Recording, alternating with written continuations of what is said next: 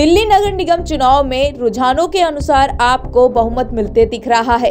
चुनाव आयोग के मुताबिक 250 सीटों में से आप 77 सीटों पर आगे है। वहीं छप्पन सीटें जीत चुकी है। बीजेपी को 46 सीटों पर जीत मिल चुकी है और अट्ठावन पर बढ़त बनाए हुए है। वहीं कांग्रेस को चार सीटों पर विजय मिली है। छह से आगे चल रही है। एमसीडी में बहुमत के लिए 126 सीटें चाहिए। एग्जिट पोल के मुताबिक आपकी जीत के बाद बुधवार सुबह से ही पार्टी के कार्यालय में गहमा गहमी शुरू हो गई है। ऑफ़िस को पीले और नीले गुब्बारों से सजाया गया है। पिछली बार इन्हें सफ़ेद और नीले कलर के गुब्बारों से सजाया गया था। दिल्ली नगर निगम के 250 वार्डों के लिए 4 दिसंबर को मतदान हुआ था। आपको बता दें कि दिल्ली की सत्ता के तीन पावर सेंटर है। दिल्ली सरकार, केंद्र सरकार और एनसीडी केंद्र सरकार की शक्तियाँ तो उनके पास ही रहेंगी।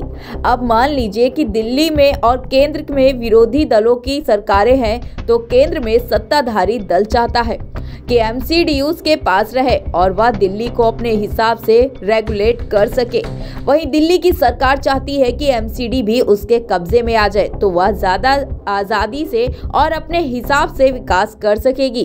Bureau report IPN